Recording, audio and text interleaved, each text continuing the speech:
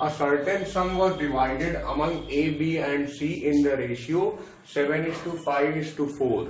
If B got rupees 500 more than C, find the total sum देखिए कुछ पैसा है वो तीन लोग ए बी सी में डिवाइड किया गया है इस रेशियो में।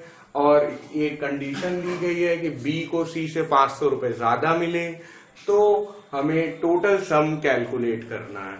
तो बस ए बी और सी लिख देते हैं और उन लोगों का हिस्सा हो जाएगा रुपए में seven x, five x and four x.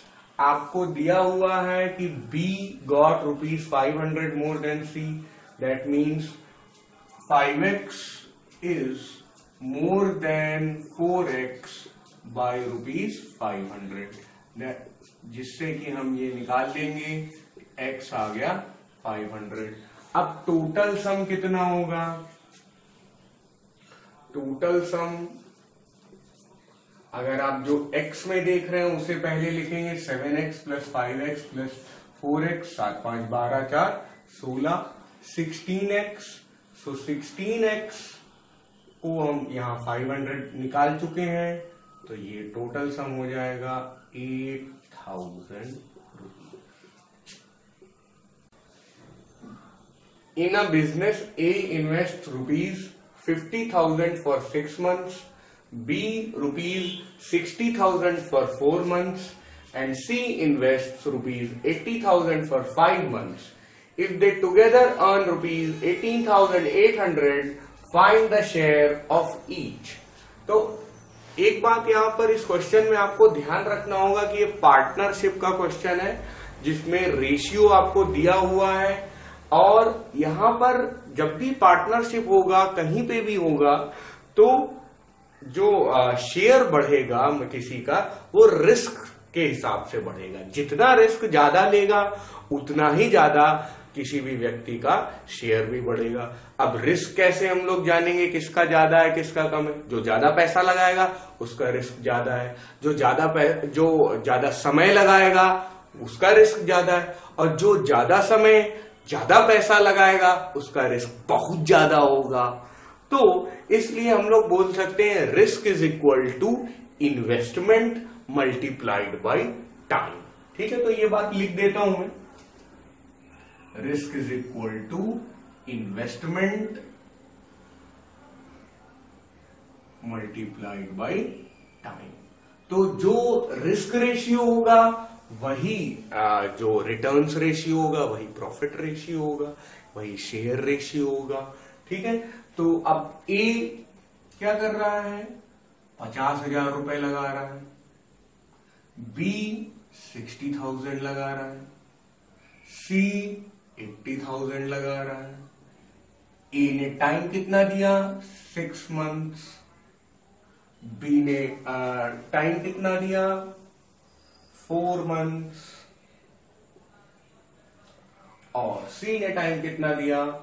Five month तो हम लोगों का जो भी शेयर रेशियो होगा वो मल्टीप्लीकेशन हो जाएगा. शेयर रेशियो क्या हो जाएगा?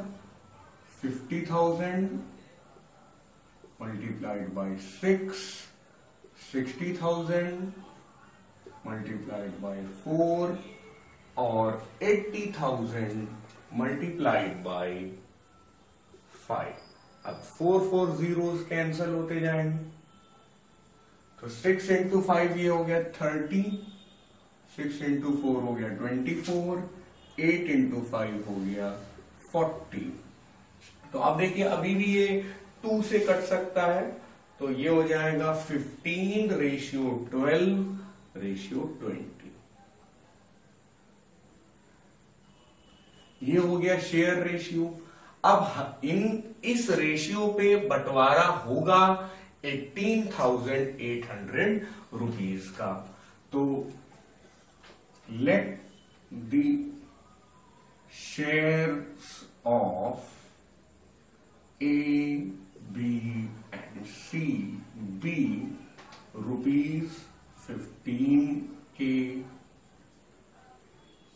ट्वेल्व के एंड ट्वेंटी के रेस्पेक्टिवली ठीक है? तो सबका टोटल करेंगे तो वो 18,800 आएगा।